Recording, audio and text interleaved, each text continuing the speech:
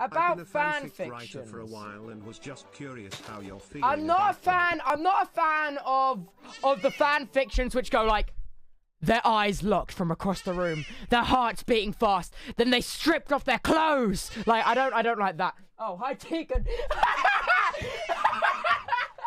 Thank you.